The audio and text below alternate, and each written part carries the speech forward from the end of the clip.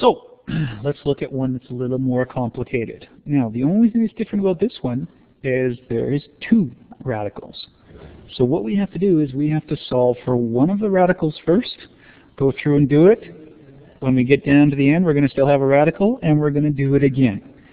So this is going to be a long question, and I'm not going to lie to you, they're going to take you a while. So we have to go through this one rather slowly, but the first thing we're going to do is we're going to isolate for one of the radicals.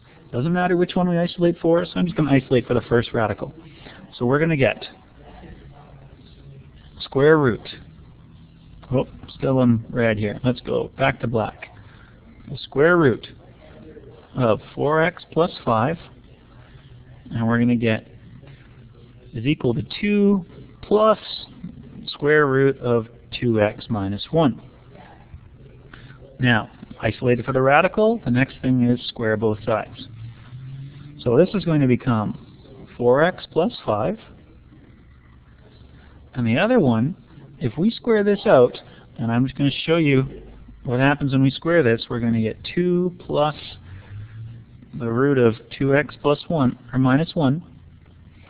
We have to FOIL this out, so we're going to get 4 plus 2 square root of 2x minus 1 plus 2 square root of 2x minus 1 plus, I'm just going to show you this this way, 2x minus 1 squared. So you might not have seen that for a while squaring a binomial with a quadra or with a radical inside, but when we combine like terms, we're going to get 4 plus 4 root 2x minus 1 plus 2x minus 1. So we got one more step to complete this because we're going to get 3 plus 2x plus 4 root 2x minus 1 on one side. On the other side is going to become 4x plus 5.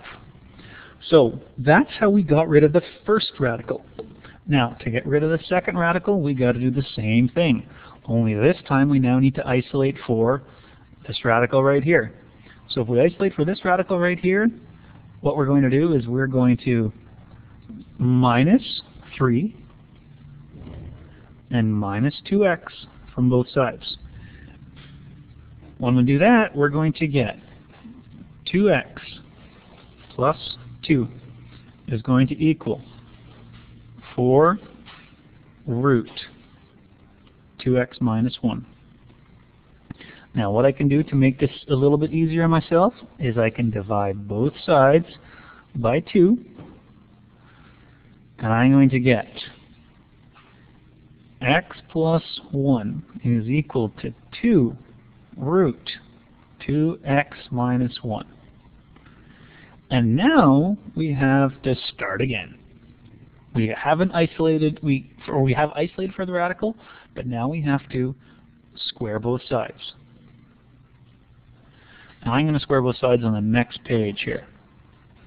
So if I square both sides, I'm going to get x plus 1, and that's going to be squared, square, and we're going to get 2 root 2x minus 1. And we're going to square that.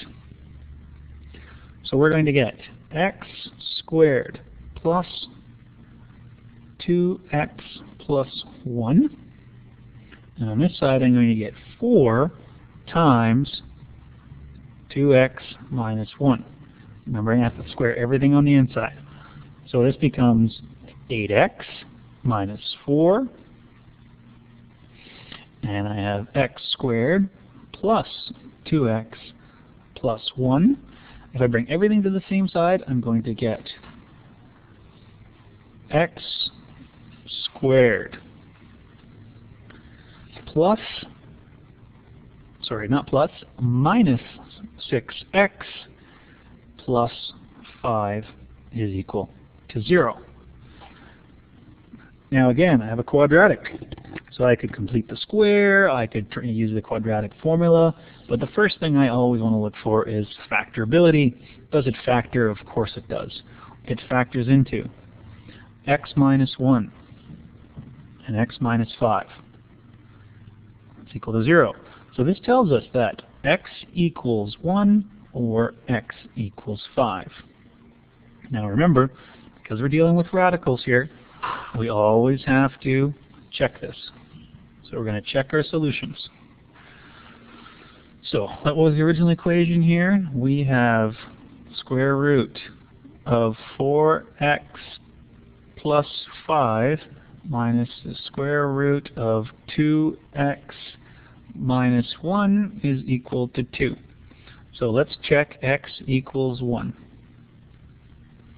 When we check x equals 1, uh, what we can do is we're just going to put 1 in for every x, and we're going to get square root of 4 plus 5 minus the square root of 2 minus 1. And the question is, does that equal 2? Well, this just becomes square root of 9 minus square root of 1. Does that equal 2? Well, is 3 minus 1 equal to 2? Definitely is. So x equals 1 is a solution. Now we've got to check x equals 5.